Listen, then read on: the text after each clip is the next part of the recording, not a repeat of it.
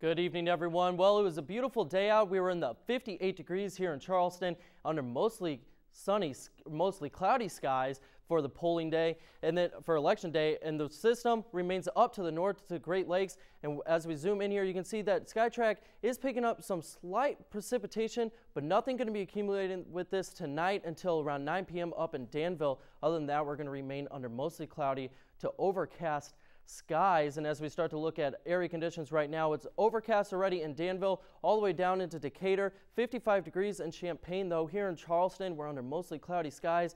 Taylorville just got lifted from the overcast skies to mostly cloudy. And then Robinson is joining the mostly cloudy skies at 58 degrees. But Effingham still at the 60 degree mark and temperatures will continue to plummet in, as Futurecast shows we start off tomorrow with partly cloudy skies most of the clouds coming in from the southwest around 11 a.m. and then the rain moves in Wednesday evening and we do get a bootleg to that system at 2 a.m. from Champaign down into Paris and this is what's going to bring most of the accumulation. So nothing tonight as we show hour by hour, 53 degrees by 6 p.m. under mostly cloudy skies.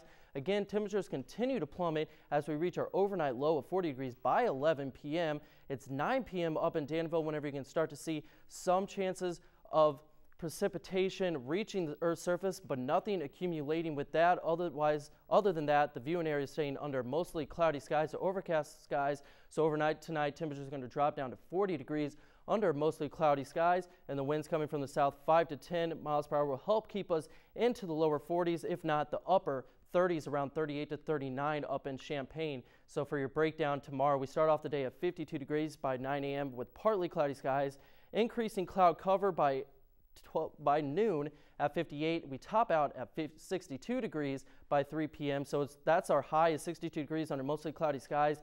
And that rain not moving in until around 8 to 9 p.m. on Wednesday, heading in for Thursday. So as we take a look ahead, tomorrow's temperature of 62 degrees falls one degree short of our average, and we're just shy of the, our average for Thursday. But this weekend is starting to look beautiful, especially Saturday. Even though we'll have cloudy skies, make sure you get out there and enjoy the warmer weather before the thunderstorms move in Sunday. And this is that system moving in for Thursday, though. As you can see, it's going to be spotty here or there, mainly to the north and south.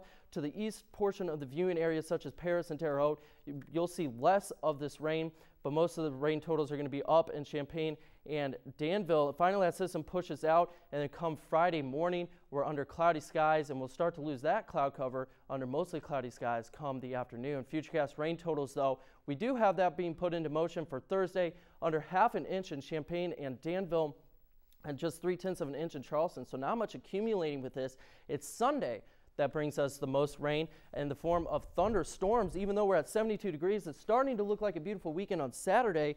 But then come Sunday is those thunderstorms at 72 degrees. Monday and Tuesday, sunnier skies as we're back down to 65 for Monday and then up into the 70s for Tuesday. This forecast is just wonderful, Phil. Yeah, no sun, no cold temperatures. It's starting to look like it's going to be a great week.